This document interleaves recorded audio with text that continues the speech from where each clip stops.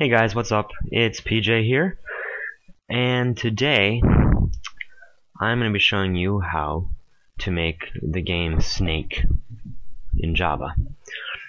So, yeah, this is going to be a few videos. This first video is just going to, we're just going to make the, the main, like, frame. So, sorry, got food caught in my throat. So let's make a new project, and Mm, let's just call it snake.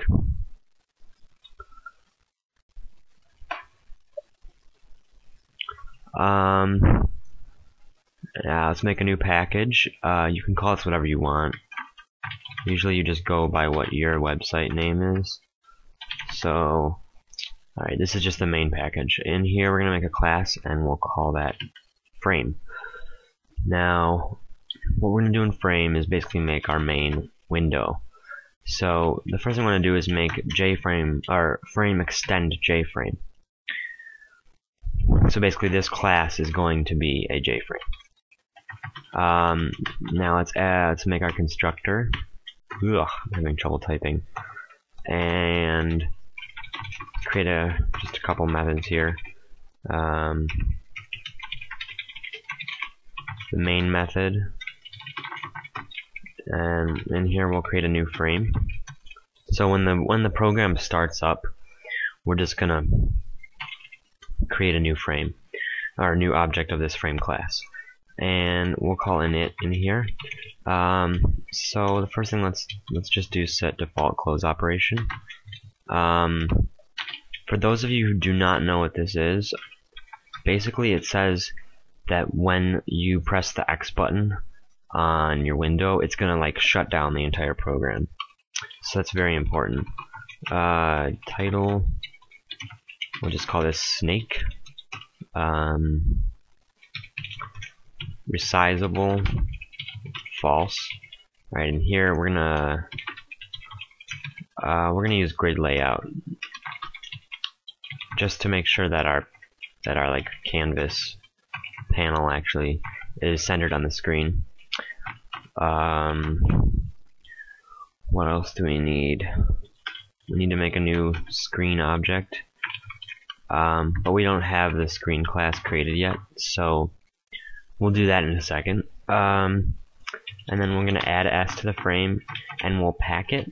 Basically what pack does is it says, okay, whatever's in this window, make the window that size. So whatever we set the preferred size for um, our panel, like the screen class, is what the size of the frame will be. And the last two things we need is set location relative to null, which will basically center our frame on the middle of the screen, so right in the middle here, and set visible to true. Um, yeah. Um, let's create a new let's create a new class in here and in here, we're actually going to go up in this package area, and we'll call this graphics. We'll add it. We'll we'll like make a new subfolder off of that, and we're going to create our screen class. Now, actually, let's go back in here and import screen, so we have it and we can use it. And then, let's see, in our screen class, we're going to make it extend um, JPanel.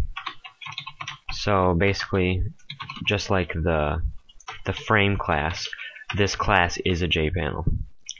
Um, let's actually import that public screen. So we'll create our constructor.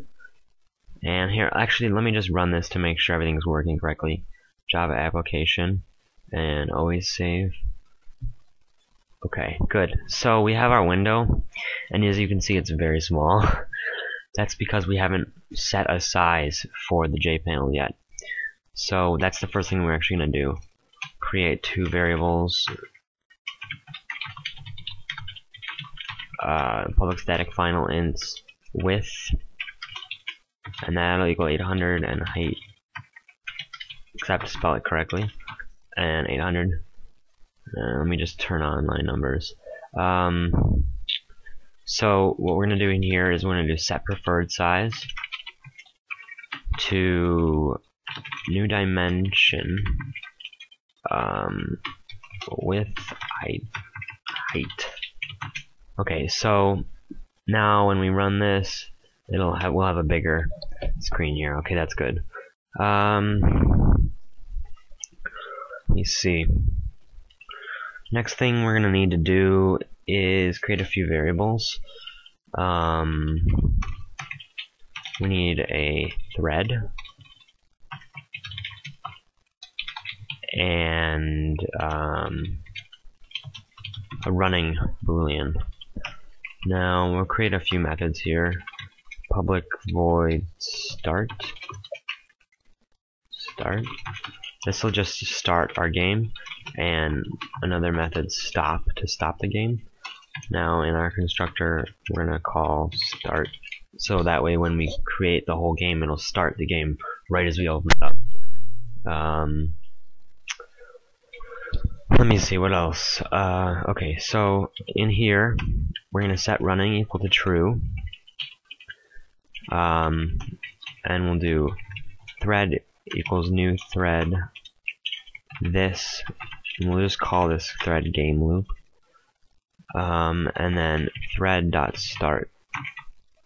Now we also need a another method. Public void run. And we'll have to implement the interface runnable. So basically this this right here this this. The this right here is referring to to this class itself. And it's saying that we have to use this interface so the the the the, the methods required from runnable are public void run. So when we do thread.start right here, it's like saying run, except we know that we're actually starting this thread instead of running. So it's just to make it easier to read or to know what we're doing. Um,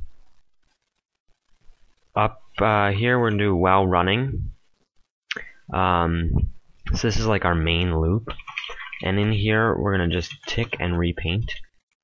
So basically what this is doing is the tick method is updating stuff. And um, the paint method is basically just painting onto this component. So that's like a this paint method is actually a built-in method to any um, to any like component class any any because um JPanel is a component so paint goes along with it um, so actually if we run this if we put in